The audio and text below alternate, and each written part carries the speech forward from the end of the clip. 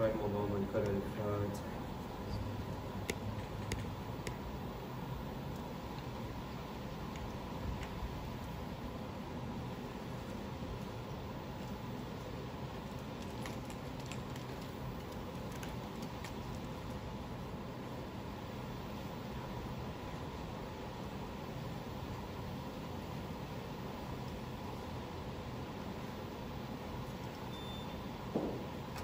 الله عليك يا بابة الله صلى الله عليك يا ابن رسول الله. صلى الله عليك وعلى آلك المظلومين. صلى الله عليك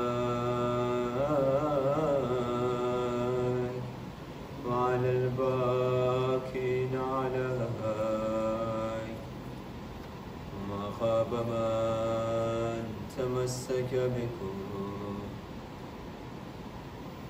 وأمن من لجأ إليكم. يا ليتنا كنا معكم. فنفوز فوزا عظيما. يا ليتنا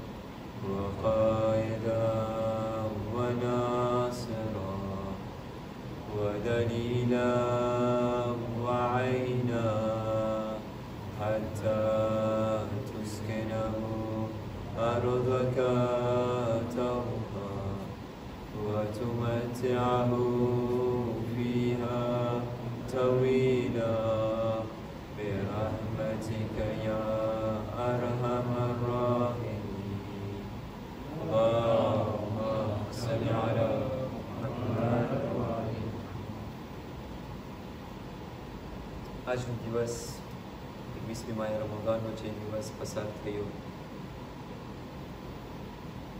એક સખ્ત અને બહુ ભારી દિવસ છે. ફક્ત એ વસ્તુને આપણે સમજે કે જેની શખ્સિયત, કે જે શખ્સિયત શહાદતને આ મોકા ઉપર આપણે મનાવતા હોય છે. જે ખાસ શખ્સિયત છે મને નથી ખબર કે આ શબ્દો હું વાપરું હું ચાહું છું કે મસાહે પર હું એની મોર અમુક વસ્તુઓ તમારા ખિદમતમાં હું રાખવાની ચાહું છું કે આપણે આ શખ્સિયતને જાણે કે એમની મઝલુમિયત કેટલી છે અલીની ફઝીલત અલીની બહાદુરી બધાને ખબર છે કેટલી છે અલી જેવા બહાદુર આ દુનિયામાં કયામત તક સુધી કોઈ નથી મળવાનું. જે અલીની તાકાત હતી એ કયામત તક સુધી કોઈને નથી દેખાવાનું. પણ જે મઝલુમિયત અલી ઉપર પડી છે એ પણ કયામત તક સુધી કોઈ ઉપર નથી. આ અલી એક એવા શખ્સિયત છે કે જ્યારે એમનું નામ આપણે લઈએ છીએ, તો આપણને બહાદુરી જહેનમાં યાદ આવી જાય છે. એમની શુજાત આપણને યાદ આવી જાય છે. પણ જ્યારે અલીનું નામ પણ લેવામાં આવે છે અને ખાસ કરીને જ્યારે ઓગણીસમીમાં રમવાન ચાલુ થાય છે, ત્યારે આપણને એક વસ્તુ જહેનમાં આવી જાય છે કે અલી ઉપર કેટલું જુલ્મ કરવામાં આવ્યું છે. જેવી શખ્સિયત છે અલીની, પણ જે જુલ્મ એના ઉપર કરવામાં આવ્યું છે, શાયદ કોઈ ઉપર આવો જુલ્મ કરવામાં નથી આવ્યો. આપણને એવું લાગે છે કે આલીની મુસીબત ઓગણીસમી માય રમદાનમાં ચાલુ થાય છે, પણ એમની મુસીબત ત્યારે ચાલુ નથી થતી. જે જુલ્મ અલી ઉપર પડે છે, ઓગણીસમી માય રમદાનમાં ચાલુ નથી થતી. તમને ખબર છે ક્યારે ચાલુ થાય છે? અઠાવીસમી સફર. ક્યારે? લોન્જીસ 10 de લેજે. દસમી હિજરી શરમાં અલીની મુસીબત ચાલુ થાય છે. ક્યારે? જ્યારે રસૂલ ખુદા આપણા પૈગંબર હઝરત મુહમ્મદ મુસ્તફા સલ્લલ્લાહુ અલૈહિ વ આલિહી વસલ્લમ સલ્લી અલા મુહમ્મદ જ્યારે આ દુનિયાથી જાય છે અલીની મુસીબત અહીંયાથી ચાલુ થાય છે આ અલી કોણ છે આ અલી એ શખ્સિયત છે કે જે હજી અમુક વખત મોર આ અઠાવીસમી સફર આવે એના મોર અમુક દિવસની વાત છે અઢાર ઝિલહજ અમુક મહિનાની વાત. છે શું બનાવ બને છે? રસૂલ એમનો હાથ બુલંદ કરીને બતાવે છે, મન કુંચો મૌલા ફહાદા અલી કે હું હવે તમારાથી જુદો થઈ રહ્યો છું. હવે હું જઈ રહ્યો છું. પણ તમે ના ભૂલજો કે જ્યારે રસૂલ આ દુનિયાથી જાય છે, તો આ જમીન ઉપર ખલીફા મૂકી, મૂકવા વગર નથી જતા. અને મારા પછી હું એક શખ્સને બતાવું છું તમારા દરમિયાન કે જેના કદમ ઉપર તમે ચાલજો, જેનો હું મૌલા છું, એનો એનો ઈ અલી મૌલા છે. આ અલીની મંઝિલતને આપણે જાણે કે રસૂલ બતાવે છે કે જે મને એનો મૌલા સમજે છે, જે મને પોતાનો એનો રસૂલ સમજે છે. આ અલી મારો સક્સેસર છે. પણ અઠાવીસમી સફર જ્યારે રસૂલ આ દુનિયાથી જાય છે, શું બનાવ બને છે? આજે અઠાવીસમી સફર પણ નથી આવી. રસૂલની તબિયત હવે બહુ સારી નથી. રસૂલ બધાઈને મદીનાથી બહાર કાઢે છે જંગ માટે અને કહે છે બધાઈને જવાનું છે સિવાય અલીને. પણ આ લોકો શું કરે છે? આ લોકોને ખબર છે? આ લોકો કાંઈ એવા માણસ નહોતા કે મગજમાં કાંઈ નહોતું. ના, મગજમાં હતું. રસૂલના વિરોધ જાય છે. મદીનાથી બહાર નથી ન કરતા રસૂલ આ દુનિયાથી જાય છે અને સકીફામાં ભેગા થાય છે. આ સકીફા આપણને તો એવું લાગે છે કે અમુક માણસો ભેગા થયા હતા. ફક્ત પણ આ સકીફા એક એવી જગ્યાનું નામ છે કે જ્યાં અલીની મુસીબત ચાલુ થાય છે. જ્યાં ઝહરાની શહાદત લખવામાં આવે છે. જ્યાં અલીનો હક લેવામાં આવે છે. અને જ્યાં કરબલાનો બનાવ બને છે. આ સકીફા સકીફા. આ એક ફક્ત ઇસ્તવાર નથી. આ સકીફા એવી વસ્તુ છે કે જેટલો જુલ્મ રસૂલ પછી આવે છે, બધું અહીંયાથી થાય. ઇસ્તવારમાં તમે વાંચો, તમને મળશે કે આ સકીફામાં શું થાય છે? એનો નતીજો તમને બતાવી. દો એક માણસને આ લોકો રસૂલના ખલીફા પછી, રસૂલના શિક્ષક તરીકે એમને ઊભો કરે છે. બધાની બયાત લેવામાં આવે છે. એ પણ મસ્જિદ નબવીમાં. તમે વિચાર કરો કે અલીની મઝલુમિયત કેટલી છે? કે મસ્જિદ નબવીમાં એવા માણસની બયાત લેવામાં આવે છે કે જે અલીનું હક લે છે. તમે વિચાર કરો કે અલીને શું થતું હશે? એ તો સહી છે કે અલી રસૂલના ગુસલ અને કફનમાં હેરાન હતા, એમની દફન ક્રિયામાં હેરાન હતા, એમના નમાઝે મજતમાં હેરાન હતા. પણ અલીને આ બધી વસ્તુ ખબર છે? પણ આ લોકોને ખબર હતી કે આખા મદીનાની બૈઅત આવી જાય ને, પણ જો અલીની બૈઅત નહીં આવે તો આ મારું બેકાર છે. શું કારણ છે? આજે જ્યારે તમે વોટ કરો, તો 99% oui કરે ને 1% ન કરે, તો જે 99% છે એ જીત લઈ જાય. પણ આ લોકોને ખબર હતી કે જે આ લોકો કરી રહ્યા છે એ ઇલેજિટિમ છે આનું કાંઈ સિગ્નિફિકેશન નથી જ્યાર સુધી અલી બૈઅત નથી મૂકતા ત્યાર સુધી આ લોકોનું કામ બેકાર છે અલી એટલા છે એટલા બીજા બધાય બૈઅત અલી અને એના અમુક ખાસ અસાબો છે એવા પણ આપણે અલીના દાયરામાં જ ગરાવી દઈએ એને આંગળીમાં આપણે ગણી શકીએ કેટલા લોકો છે કે જે બયાત નથી બધાય માની લીધા છે અલીનું શું કામ છે પણ આ લોકોને ખબર છે કે આ ખિલાફત અલીનું છે. પણ તોય નથી આ. અલીની મુસીબત અહીંયા શરૂ થઈ છે. શું બનાવ બને છે? અલીના ઘર ઉપર હુમલો કરે છે. બધી વાતો આપણે કરી લીધા છે, ફક્ત મને મસાયબ તરફ આવું છે. અલી, બીબી બીબી ઝહરા અલીને નખરમાં નથી દેતા. અલીને ઘરમાંથી લઈ જવાની કોશિશ કરે છે. શું બનાવ બને છે? દુખ્તરે રસૂલના ઘર ઉપર આગ લગાવવામાં આવે છે. હું તમારાથી સવાલ આ મારો સવાલ તમે ધ્યાનથી સાંભળજો અને જરાક તસવ્વુર કરજો. મગજમાં જરાક આ ઇમાજને લઈ આવજો. કે તમે ઘરની અંદરમાં બેઠા છો? તમારી ઘરવાળી યા તમારી મા બાયના પછવાડે છે? એક ઝાલિમ આવીને એ બાઈના ઉપર કે જેના ઉપર આગ લાગેલું છે? તમારી માં યા તમારી ઘરવાળી ઉપર એની લજ. તસવ્વુર કરો ઝહેનની અંદર.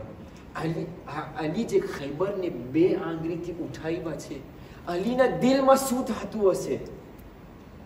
પણ રસૂલ કહી ગયા હતા, યા અલી, મારા પછી સબ્રનો ઇંતખાબ કરવાનો છે. મુસીબત જોવું પડશે, પણ સબ્ર કરી લે છે અલી કંઈ કરતા નથી. અલ્લાહ જાને અલીના દિલમાં શું થતું હશે? મને નથી ખબર. હું તો નહોતો એવા. અલી પણ બતાવતા નથી. પણ રિવાયતમાં આપણને મળે છે કે બીબીની શહાદત પછી અલી જ્યારે ઘરની અંદરમાં દાખલ થતા હતા, ત્યારે ઘરના ખૂનામાં બેસીને માથાને બે ઝાનુની અંદરમાં રાખીને ઝારો કતાર રોતા હતા. મને નથી ખબર ઇમામ શું બયાન કરતા હશે. પણ શાયદ જનાબે મોહસિનને યાદ કરતા હશે શાયદ ઝહરાની પસલીયતોને યાદ કરતા હશે મને નથી ખબર એક મરદથી એક ઔલાદથી આવી વસ્તુ કેવી રીતના તસવ્વુર થાય પણ આ છે અલુ અલીની મઝલુમિયત આવા વફાદાર આવા બહાદુર શુજા પણ સબ્રનો ઇંતખાબ કરવાનો છે બીબી ઝહરાની શહાદત થઈ જાય છે. પણ જે લોકો છે, હુકુમતને ચલાવી રહ્યા છે. છવ્વીસ વર્ષ ઇન્સાનિયતથી તમે બોલો, છવ્વીસ વર્ષ સુધી આલી કેવી રીતના સબ્ર કર્યા હશે કે જે હક એનું છે, એને છીનવામાં આવે છે. જે હક એનું છે, એ એમના હાથમાંથી ગજબ કરવામાં આવે છે. છવ્વીસ વર્ષ સુધી આલી સબ્ર સિવાય બીજું કાંઈ નથી દેખાતું. સબ્ર ફક્ત સબ્ર છે છવ્વીસ વર્ષ પતી જાય છે. આવે છે અલી પછી. અલી તમે બેસો ખિલાફત ઉપર. મુકેશ મુસલમાનો ક્યાં હતા? છવ્વીસ વર્ષથી એક માણસ તમારા દરમિયાન જિંદગી બસર કરી રહ્યા છે. હવે છેક તમે અલીને બોલાવો છો. પણ આ લોકોનો જે પસ્તાવો આવે છે એ પછી આવે છે. જ્યારે અલી હુકુમત ઉપર બેસે છે ત્યારે અલીના હુકુમતમાં એક એવો માણસ નથી કે જે ભૂખો રાત પસાર કરતો હતો. આ તમે મને દેખાડી દો, ક્યાં હુકુમતમાં તમને આ દેખાય? પણ અફસોસની વાત એ છે કે અલીને આ લોકો હુકુમત ઉપર બેસવાના. જો અલી આ ત્રીસ વર્ષ સુધી આ ખિલાફતને હલાવ્યા હોત તો આજે હું તમને બતાવી દઉં, આપણે જન્નતની અંદરમાં રહેતા અલીની હુકુમત એવી રીતના ચાલે છે, અલીની અદાલત છે, બધે તમે જાણો છો, એના બારેમાં આપણે ચર્ચા પણ કર્યા છે. પણ આની અંદરમાં પણ અલીની મઝલુમિયત તમે જો કે હુકુમત ઉપર બેઠા છે, ત્રણ એવી મોટી જંગનો સામનો કરવો પડે છે. એ તો એક ઠેકાને પણ જે વધારે સખ્ત છે એ છે કે જ્યારે અલી હુકમ આપે છે, ત્યારે આ લોકો માનવાને તૈયાર નથી. સિફિનનું મેદાન છે. અલી કહી રહ્યા છે કે હું કુરાને નાતેક છું. તમે જાઓ, મારી વાત માનો. પણ અલીને આ લોકો માનતા નથી. અલીની વાતને કબૂલ નથી કરતા. આ જ સબબ બને છે કે શબે ઝરબત તરફ આવે છે. મહેરવાન જંગે મહેરવાન ખવારીજ સામે બે રાતથી આપણે એના બારામાં ચર્ચા કર્યા એ જ બનાવ બને છે કે અલીની શહાદત આવે છે કોણ છે આ ઇબ્ને મુલજીમ કોણ છે આ શિમ્ર કે જે કરબલામાં ઇમામ હુસૈનના સામે ઊભો થાય છે ઇબને મુલજીમ ઇમામનો સાથી છે શિમ્ર ઇમામનો સાથી છે આ શિમ્ર લાઈન તમને ખબર છે કોણ છે હું જ્યારે તમને કહું છું કે અલીની મઝલુમિયતને તમે જો આ બધી વસ્તુ અહીંયાથી નખરે છે. શિમ એક એવો માણસ છે કે જેના ગરદન ઉપર જરાક રહ્યું હતું, તલવાર પસાર થાય છે. અને આજે આપણે એને અલહી સલામ કહેતા હોત. અલીના રાહમાં કુરબાની આપવાને જરા કરીએ છે જરા કરીએ છે. પણ એ એમને શહાદત નસીબ નથી થતી. હુસૈનના સામે કરબલામાં ઊભો થાય છે. ઇબ્ને મુલજિમ ઈ છે કે જે ઇમામનો સાથ છે ઇમામનો ખાસ એવો છે ઇમામ પાસે જે દરખાસ્ત કરે છે ઇમામ એને આપે છે પણ આ જ મુલજિમ છે કે જ્યારે એના પાસે અલીનું સર માંગવામાં આવે છે ત્યારે ઓગણીસમી માય રમદાનની રાતની અંદરમાં મસ્જિદની અંદરમાં પોતાની તૈયારી કરે છે આના જેવો લાઈન માનસ ક્યાંથી હોય પણ અલીની મઝલુમિયતને તમે જો સર ઉપર ઝરબત લાગે છે અલી એકવીસમી માય રમદાનના આ દુનિયાથી જાય છે પણ ક્યાં હાલતમાં જાય છે હું પોતાથી સવાલ કરતો હતો કે જ્યારે એક માણસને એમના સર ઉપર ઝરબત લાગે ત્યારે એમની હાલત કેવી હોય છે રિવાયતમાં આપણને મળે છે તારીખ લખે છે કે જે ઇમામના સર ઉપર જે વસ્તુ બાંધેલું અને અમામો બાંધેલો હતો ઇમામ કહે છે કે જો આ અમામો મારા સરમાંથી કાઢવામાં આવે તો મારા માથાના બે ટુકડા થઈ જાય એવા છે. વિચાર કરો તમે. અલીની મઝલુમિયત કેટલી છે? પણ હું કહીશ, મૌલા જુલ્મ તમારા પછી એમના હદ સુધી પહોંચશે. મૌલા, તમારા પછી હસન અને હુસૈન ઉપર કોઈ ખ્યાલ રાખવાની હવે નથી, મૌલા. મૌલા, જ્યાર સુધી તમે હતા, જ્યાર સુધી હસન અને હુસૈન હિફાજતમાં હતા. મૌલા હવે તમે જઈ રહ્યા છો. હસનના કલેજાના કટકા થશે. મૌલા, હવે તમે જઈ રહ્યા છો. હુસૈનના સર ઉપર તલવાર ચાલશે. મૌલા, તમે જઈ રહ્યા છો. ઝૈનબનું દેખ રાખ કોણ રાખશે? મૌલા, તમે કેમ જઈ રહ્યા છો, મૌલા?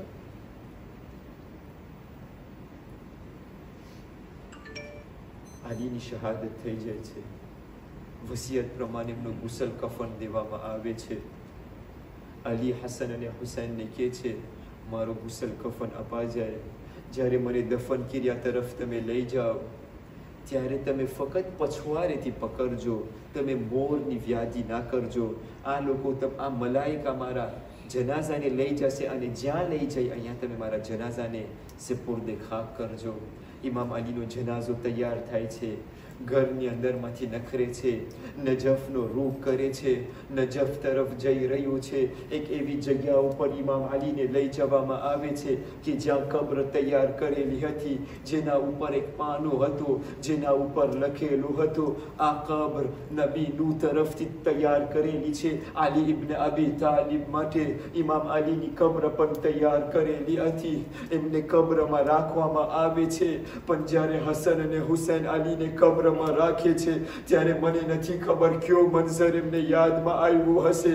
આયા એ મંઝર યાદ આવ્યું હશે કે જ્યારે મદીનાની અંદરમાં, જ્યારે માનો જનાઝો જન્નતુલ બખી તરફ લઈ ગયા હતા અને જ્યારે સિપુરને ખા કરવામાં આવવાનો ટાઈમ હતો, હસન અને હુસૈનની ઉંમર સાત આઠ વર્ષની છે. કબરમાં કેવી રીતના જાય? પણ ઈ ટાઈમે રસૂલે ખુદા કહે છે અલી મારી અમાનતને પાછી તું આપી દે. આજ મોકો આવે છે. હસન અને હુસૈન બાબાને સિપુર્દે ખાક કરે છે કબ્ર અંધિયારમાં રાખે છે. પણ હું કહીશ, મૌલા હુસૈન, તમે કેટલા ખુશ નસીબ છો કે તમે અહીંયા છો. તમારા બાબાને કબ્રની અંદરમાં રાખો છો. પણ સલામ થાય સજ્જાદ ઉપર. સામે ગરીબા પછી જ્યારે તમારું સર તમારા તનથી જુદા કરવામાં આવે છે. લઈનો લોકોના જનાઝાને સેપુર્દે ખાક કરે છે. પણ હુસૈનનો લાશ કરબલાની તપતી મેદાન ઉપર પડી છે અને સજ્જાદ ફકત જોઈ રહ્યા છે. એક જવાન દીકરાના દિલમાં શું થતું હશે? રિવાયતમાં આપણને મળે છે કે હસન અને હુસેન જ્યારે અલીને સિપુર્દે કરીને પાછા ઘર તરફ આવે છે, ત્યારે એક નાનકડું ઘર દેખે છે કે જેની અંદરમાં રોવાની અવાજ આવે છે. હસન અને હુસેનને થાય છે કે હવે બાબા અલી તો નથી, જ્યારે રોવાની અવાજ આવતી હતી, ત્યારે અલી જાતા હતા, સવાલ કરતા હતા, પૂછતા હતા હતા કે કાંઈ જરૂરત છે? હવે અલી નથી. હવે હસન અને હુસૈનને કરવાનું છે. હસન અને હુસૈન જાય છે. તો જોઈ છે એક બુઢો માણસ બેઠો છે. ગિરિયા કરી રહ્યો છે. હસન પૂછે છે, એ શેખ, તમે કેમ ગિરિયા કરી રહ્યા છો? તમને કાંઈ જરૂર છે? તો આ શેખ બતાવે છે કે મને કાંઈ જરૂર નથી, પણ મારો જે ખરીબ દોસ્ત હતો, આજે ત્રણ દિવસ થઈ ગયા, મારા પાસે નથી આવ્યો. હસન સવાલ કરે છે એ તમારો દોસ્ત શું કરતો હતો કે તમે આટલું ગિરિયા કરો છો? તો એ કહે છે કે, જ્યારે એ શખ્સ મારા પાસે આવતો હતો, હું આંધ્રો છું, હું જોઈ તો નથી શકતો, પણ એમના હાથેથી મને ખાવાનું ખવડાવતો હતો, મારા સાથે વાતો કરતો હતો, મને હસાવતો હતો.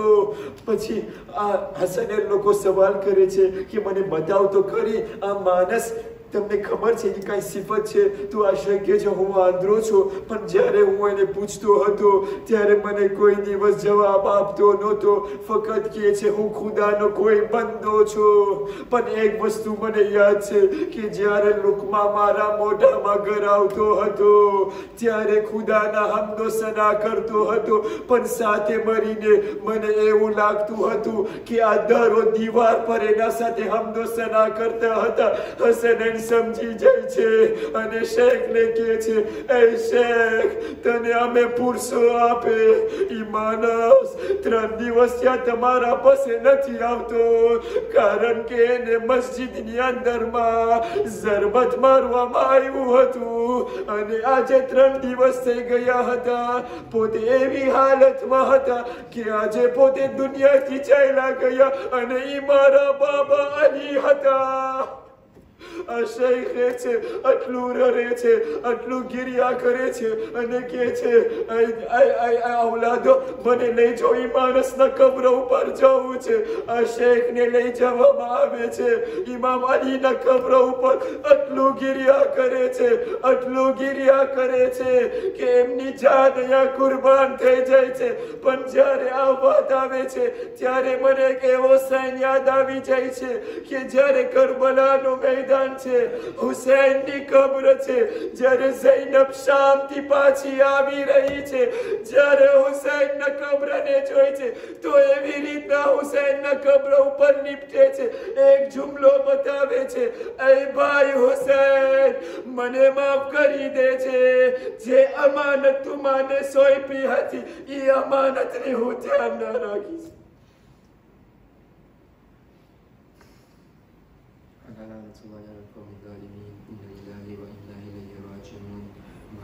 said, Yo said. Yo said. Yo said.